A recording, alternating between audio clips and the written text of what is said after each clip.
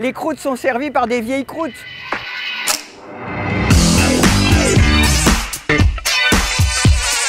Moi, je m'appelle Florence et je cuis les croûtes ardennaises depuis 11 ans. Alors la recette, c'est du fromage blanc assaisonné par nos soins avec euh, des lardons, de l'emmental râpé que nous faisons cuire pour nos clients assidus avec amour parce que nous sommes entièrement bénévoles.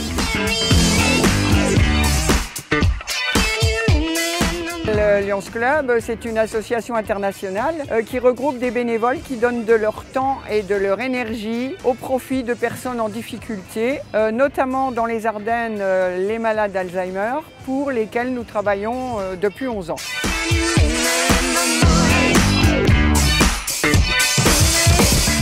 Allez, allez, allez les croûtes Allez, allez, allez les croûtes Et ça, ça nous donne du peps, voilà.